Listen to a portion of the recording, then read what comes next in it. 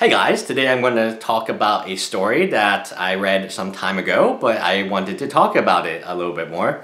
And it was a Magic the Gathering employee. I don't know if he was a Wizard of Coast employee, a Hasbro employee, or just an employee at the printer. But imagine like a, a dude at a printer, like a young dude at a printer, and they're printing these valuable Magic cards.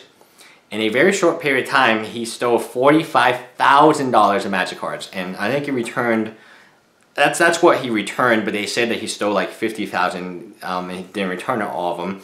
And out of only 197 cards, so we're looking at an average price of $250 a card. So cards he was stealing were probably judge promos or I have no idea what he was stealing.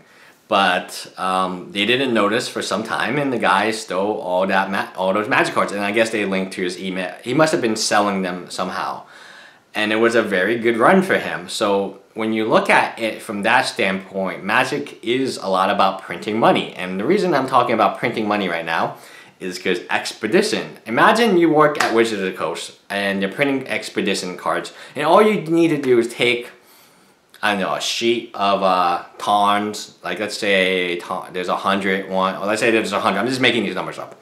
Uh, let's say a hundred of them, you just need to take that hundred and let's assume it's 500 bucks a piece and you made $50,000. So Magic is a printing press of monies. And that's, this is, when I read the example, I didn't think about it until like now, that Wizards of Coast is just printing money out.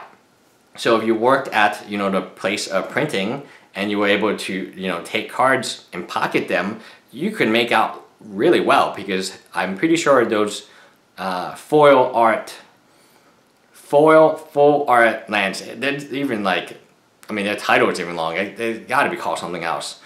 And they are valuable and they can be, you know, instantly. I would pay, like if someone had one and they wanted to trade it, I would definitely trade over trade for it. I have no problem always trading for something I want and I really do want them.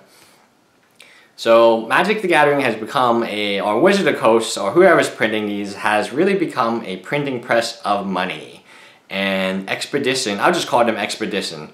Uh, it is a very clear example to me of where Magic is going to head soon, where why wouldn't they head this way, where they can print the Omega Mythic, right?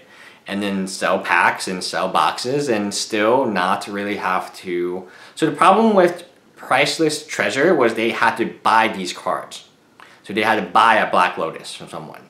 They had to pay retail for a Black Lotus for the card they printed and then make and sold for probably like way less back then and to put in these packs. But why do that when you can just print, you know, a, a copy of a card and have it be 500 bucks? So we are entering a new era of magic cards. Uh, we definitely are. Um, Wizard of the Coast has realized that they can print money. And uh, for whatever reason, it took them this long to realize this, but Expedition is exactly that. And when I read that at, you know, on, I think it was Kotaku about the guy who was stealing $45,000 in magic cards, and he only stole 200 cards, I was like, huh. And he sold them for 40, so it wasn't like, oh, the retail value is 4,500. I'm assuming the retail value much higher than he sold them for because he sold them at such a high volume. It was a very short period of time, so he wasn't working there for like 10 years or something. It was I, You gotta read the article. Hopefully someone can link the article, or you can just use Google and say Magic employee steals $45,000 of cards, and it should pop up just right like that. Anyway, interesting story. Um, I just It just reminded me of uh, Magic being kind of a printing press of money right now. And you can say that's good or you can say that's bad. I, I don't know. Time will tell. Bye, guys.